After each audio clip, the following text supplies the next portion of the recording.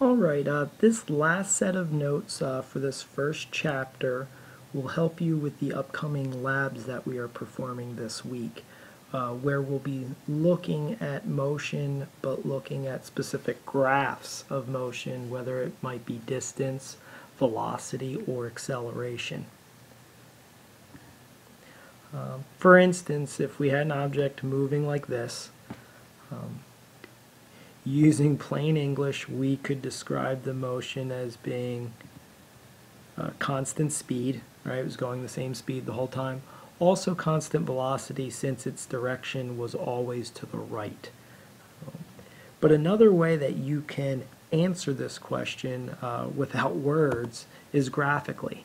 Uh, so in this particular case here, right, if we had uh, plotted velocity on our vertical axis, and time on our horizontal axis, because velocity was constant of some value, right, it maintained that velocity the whole time. So we get this, you know, straight horizontal graph here.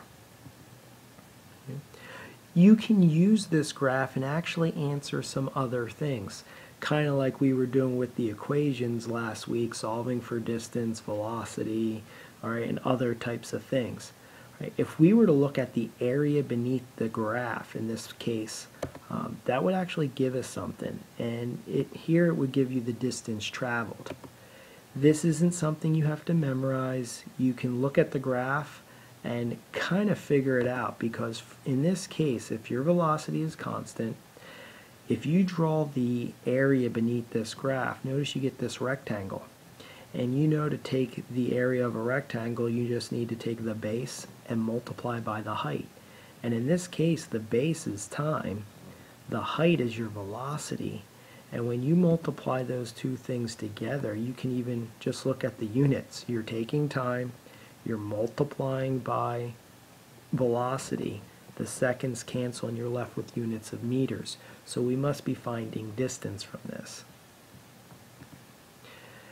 Using the same graph, you can actually find a different quantity if you look at the slope of the graph. Right, so to redraw, right, in this case, we we would actually find the acceleration. Right, if we take uh, that graph once again, uh, look at it a little bit more in depth, right, you know that finding the slope of a line involves finding the rise over the run in math class it might have been uh, presented to you as the change in y over the change in x. And in this case, our y-axis has velocity on it, which is measured in meters per second.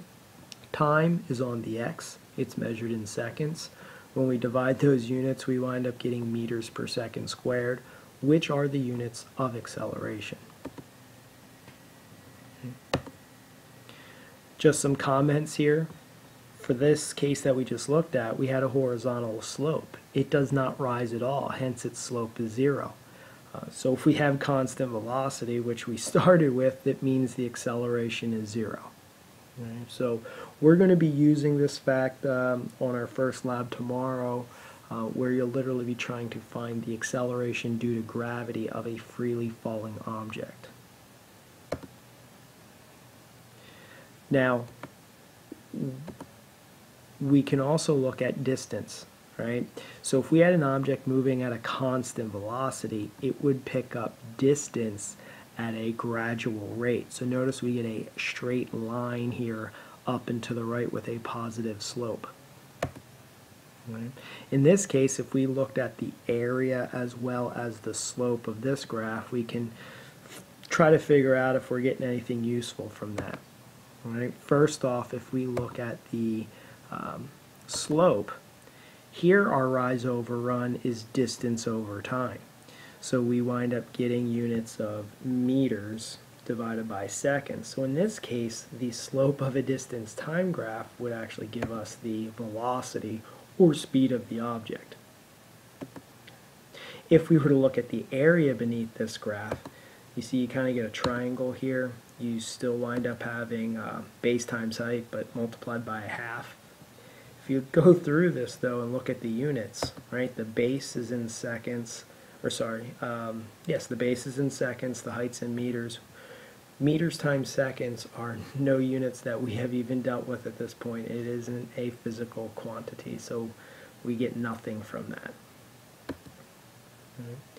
You can look at acceleration time graphs, but in this class we are only going to deal with something that has either zero acceleration or constant acceleration. So um, it'll either look like this or zero.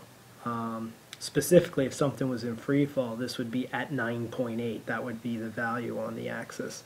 But we could look at other situations where, you know, the acceleration might be a different constant value, not 9.8. Kind of last question to check your understanding.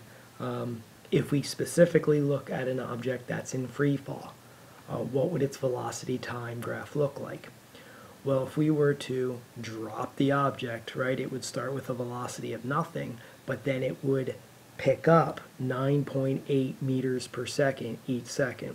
So you would wind up getting a graph here that is increasing, and specifically the slope of this graph would be 9.8. or 10 if we round it to 10 meters per second squared as, as we've done in class, you know, over the last week or so. Okay.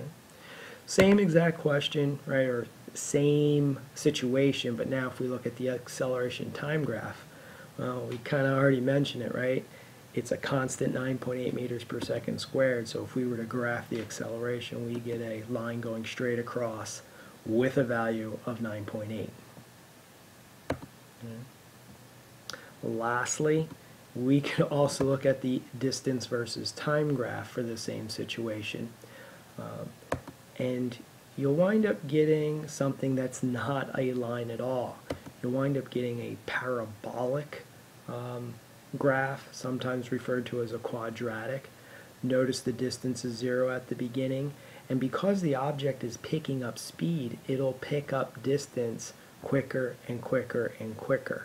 Um, it kind of goes along with the formula that we've already looked at, right? Distance equals 1 half at squared.